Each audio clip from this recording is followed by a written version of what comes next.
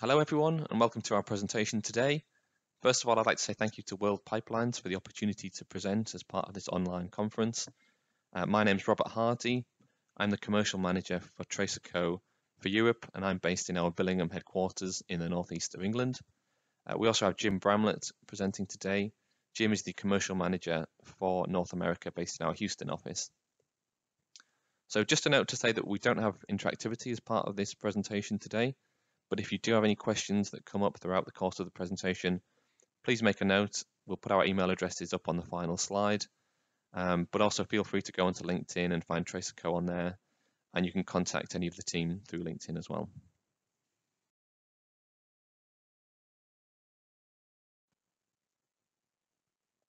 Okay, so just quickly to look at what we're going to cover in the presentation today. First of all, I'll look a bit at Tracerco's history and how we got to where we are today.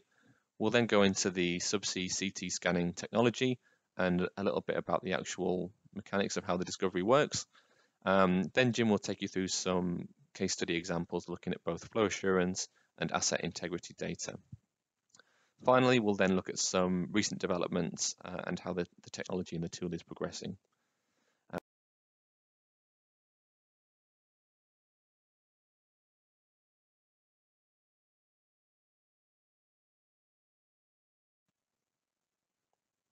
To give you some background on Tracerco, we were formed in 1958 out of ICI's radiochemical division.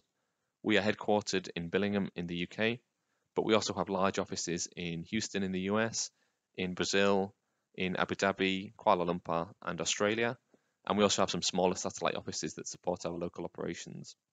We have roughly 400 staff working across these various sites. Tracerco have supported customers in the oil and gas industry for many years, this includes the subsea environment, but also topsides and in downstream refineries. In this presentation, we're going to focus on the subsea activities and the full portfolio is shown in this diagram. We work a lot with clients involved with pipeline pigging. We support pig tracking activities and stuck pig location, and we can offer a customized solution for each individual pipeline. We can inspect buoyancy tanks using our neutron backscatter techniques, this is mainly to look at vapor and liquid interfaces. One of our core services over the years has been flooded member inspection. This is an extremely reliable technique for detecting water ingress on offshore platforms. This technique is now developing and expanding into the renewables sector, where we're starting to look at inspection regimes for offshore wind structures, as well as using a novel technique for grout monitoring during the construction phase. Our final service is related to pipeline inspection for both asset integrity and flow assurance purposes. We offer the Explorer system, which works in conjunction with Discovery as a quick scan, lower resolution device used for screening and identifying areas of interest.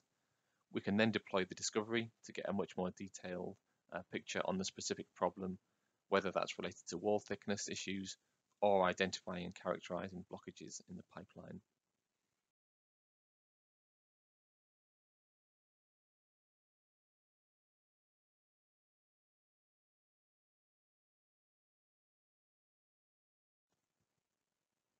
So just to look at the technology behind Discovery, we're using computer tomography uh, or CT scanning. So this is a very commonly used medical imaging technique, which uses many different X-ray measurements from different angles to reconstruct detailed cross-sectional images uh, of areas of interest on a patient's body. So in this example, you can see it's cross-sections of a patient's brain. Um, so this is similar to nuclear magnetic resonance in terms of being a great medical imaging technique that gets a lot of very detailed data um, non-invasively and there's minimal disruption to the, the patient's life. So what we're doing is we're taking this technology subsea um, and we're looking at creating detailed cross-sectional images of pipelines. One of the key differences being that rather than scanning through a patient's body, which is mainly water, uh, we're actually scanning through uh, concrete coatings and steel pipelines and, and different types of materials. So in this instance, when we're talking about discovery, we don't use X-rays as they do in hospitals for CT scanning. We're actually using gamma rays on the on the discovery.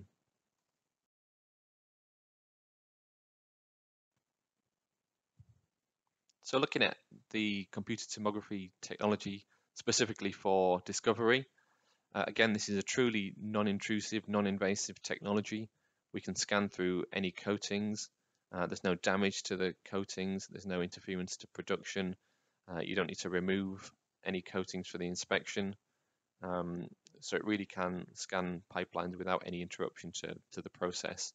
Um, we collect the integrity and the flow assurance data at the same time in a single scan. So clients have, have both of those um, sets of data available to them.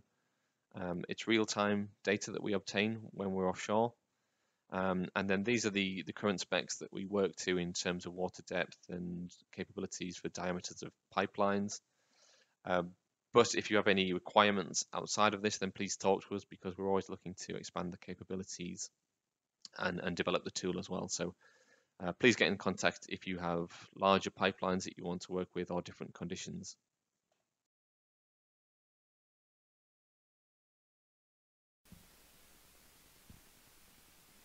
This is a very short animation just to give you an example of deployment of Discovery onto a pipeline.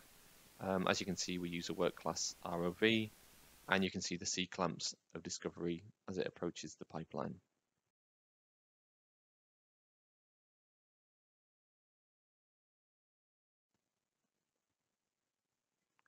So we use the ROV for communications, for hydraulics, and for power.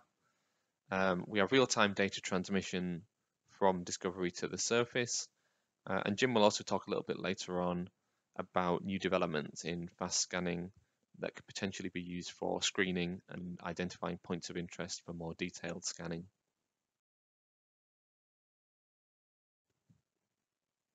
So just to summarize a few key points before Jim looks at some case studies in more detail.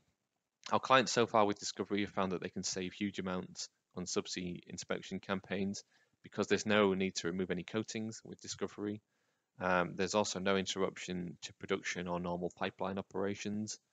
Um, so the intervention time is really reduced because Discovery can, uh, in very short time periods, get a lot of very detailed information about complex pipelines um, on both the integrity side and also the flow assurance. So I'll hand over to Jim and he's going to look at some case studies and some example data in a lot more detail.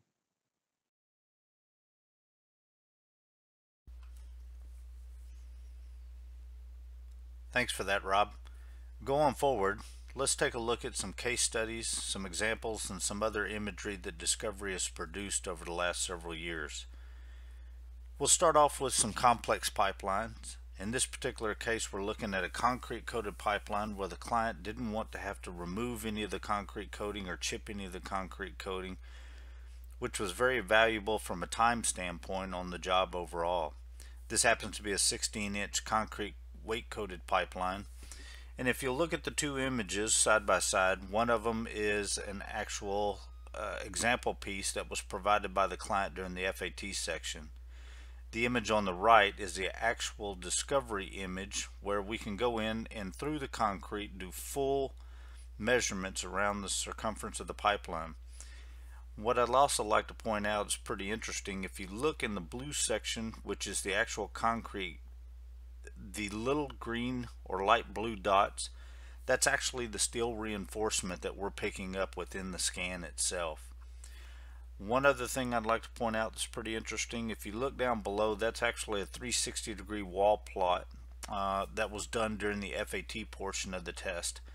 The blue line is our measurements from the discovery tool around the circumference of the pipe. The four red squares were the actual UT measurements that the client uh, did as part of the uh, assessment and uh, of the discovery technology and if you'll notice they line up extremely well.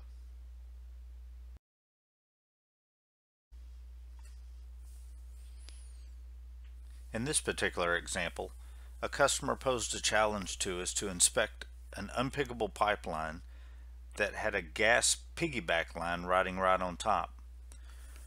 Our engineers took that challenge, came up, designed, and delivered an ROV clamp, which if you look at the far right image is the actual apparatus that's around both pipes. This allowed Discovery to come in, clamp around the ROV clamp itself, and collect data on both pipes at the same time. If you look at the image on the far left, that's the actual image produced by the Discovery tool where we could clearly see both pipes. We could get the integrity data of both pipes. What was also interesting to the client is during the inspection we were able to identify a condensate layer that was building up in the gas piggyback line which could potentially pose integrity issues going forward.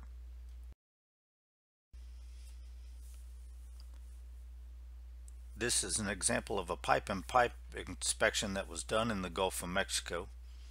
Discoveries uniquely adapt at inspecting pipe in pipe systems due to the fact that we can get both the carrier pipe as well as the production pipe integrity data. We can also clearly see the annulus and if you look at the annulus layer or area in this particular image you can actually see a faint light blue line around the interior of the carrier pipe which is the aerogel layer that was in there. We can also get the inspection or integrity data on the production pipe itself as well as the flow assurance data within the production pipe.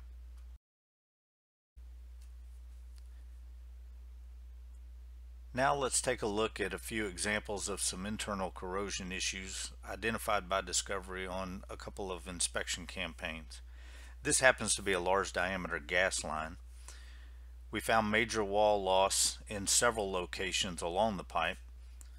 If you take a look at the approximate 12 to 3 o'clock position, maybe 4 o'clock position on the image on the right, you can see severe wall thinning as well as some, some isolated corrosion cells uh, building up. What we thought was interesting as well is you can clearly see in the lower section of the pipe a condensate layer which could be a contributing factor to the top of the line corrosion identified.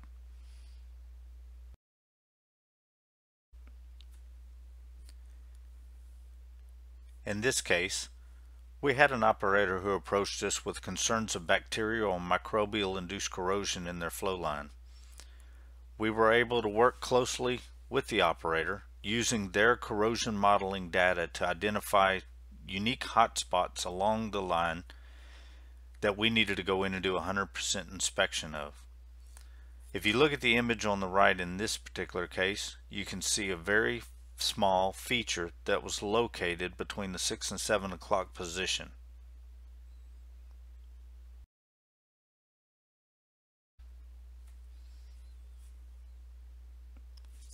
Here was an inspection we did looking for preferential weld corrosion, which is a threat to most welded joints. This was part of a pipeline life extension project with the customer, and we used localized inspections to check an actual seam weld to see if there was any evidence of PWC within the system. The image on or the two images on the right, one close up, one standard, shows a clear anomaly that was detected in part of the seam weld. Not shown on this image, but we did do a careful analysis and full measurement of the anomaly detected.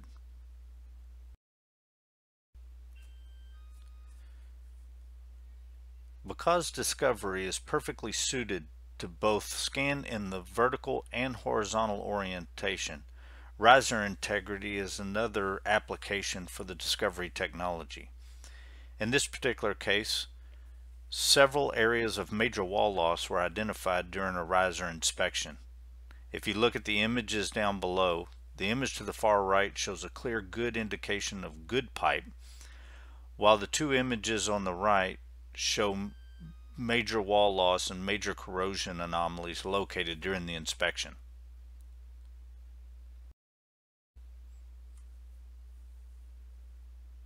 In this case, the discovery technology was used to inspect a known leak within a subsea pipeline system to measure and understand the extent of the underlying problem. For the scope of work, a total of seven inspection locations were identified.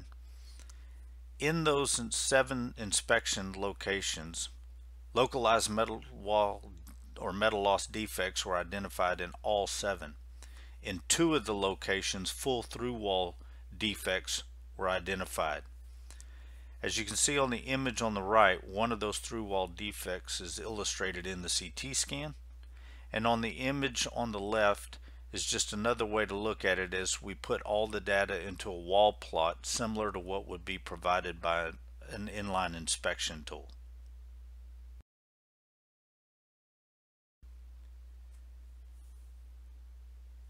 As part of that inspection campaign, we were able to take all the data in each of those seven inspection locations and put them into 3D modeling software to build a separate visual representation of each pipe section scanned.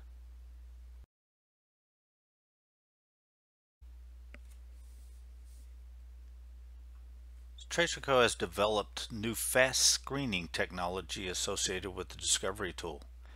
This allows operators to gain more integrity data in less amount of time.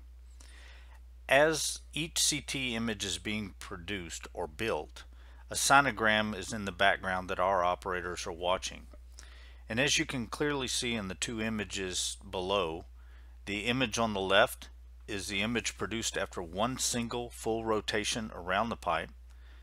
The image on the right is after many laps where we finally have sufficient data acquired to do a full image reconstruction and measurement. However, if you go back to the image on the left, you can clearly see even after one lap, potentially two laps, any anomalies are present within the sinogram itself.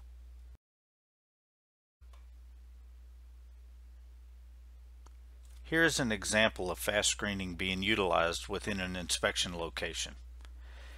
As normal, Discovery is delivered to the pipe, clamped around, and a full scan or a full tomographic image is produced in location number one. From that point, we have a reference data to look for any changes or any anomalies detected within the next scan. From that point, a step and a fast scan is performed. If no change from the norm is identified, then that is repeated along the section of pipe until the next predetermined location for a full tomographic image is done. At anywhere within that section, if an anomaly is detected in one of the fast screens, that will trigger an automatic full screen so that enough data can be obtained to do full measurement analysis.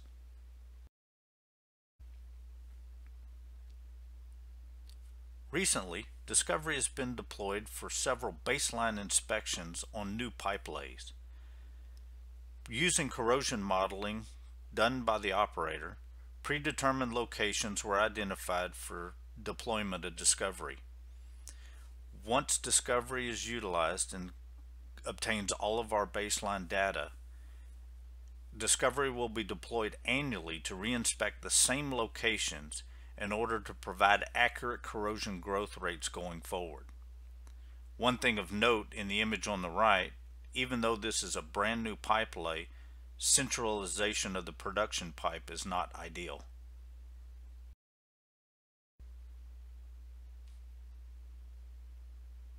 Overstress or fatigue due to thermal expansion can easily be identified using the Discovery technology. In the image that you see on the right, Clearly, annulus integrity was lost due to either lack of centralization or damage to the centralizers, and thermal expansion allowed the production pipe to ride all the way up against the carrier pipe. This obviously poses potential long-term issues from a flow assurance standpoint as well as induce potential corrosion issues.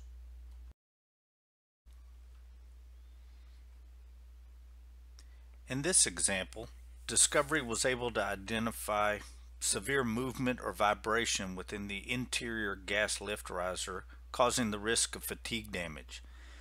This was a particular project where we had a pipe inside of a pipe inside of a pipe with the in most interior pipe being a gas lift riser, the middle pipe being the production pipe, and then the heavy wall carrier pipe on the outside. One thing to note between the 1 and 3 o'clock position is an internal umbilical that was in the outer annulus. For this inspection, we were not able to get the integrity data on the innermost gas lift riser due to the excessive vibration. The vibration is noted if you look at the actual gas lift uh, pipe in the very middle, it looks very distorted, and that's due to the pipe moving or shifting during the inspection uh, data collection time.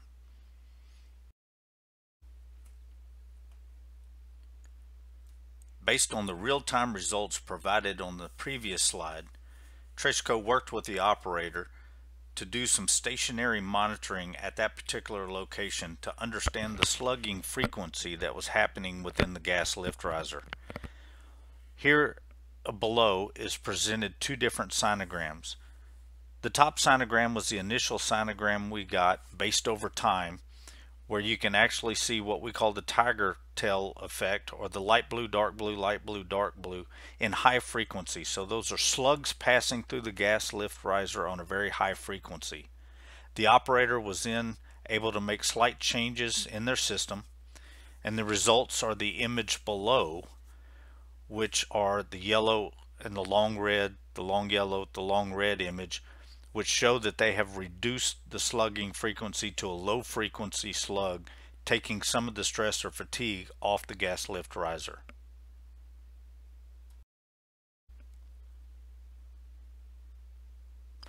And finally, to touch on the flow assurance aspects from the Discovery tool.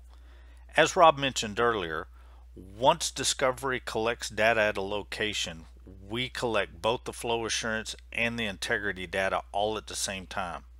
So it doesn't matter if we're on a primarily asset integrity project, we will always also provide the flow assurance data in those locations and vice versa for a primary flow assurance uh, project.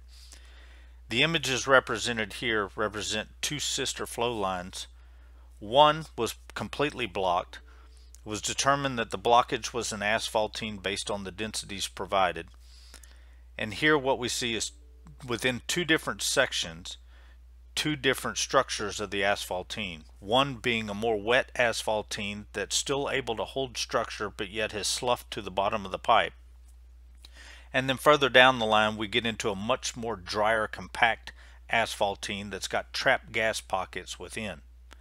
Because of this initial readings and these initial scans that we saw on this line, it was determined to scan the sister flow line out of fear that asphaltene was being produced and going to potentially block the sister line. Much to the surprise of all of us involved, we didn't find any asphaltene issues, but here we see a significant scale issue that's starting to develop within the pipeline. One thing that was curious to us when we did the scan is is that we couldn't understand why there would be less scale on the bottom of the pipeline and more scale on the top section of the pipeline. In consultation with the operator's flow assurance experts, it made perfect sense to them as they had just completed some acid stimulation on several wells that fed into this particular pipeline.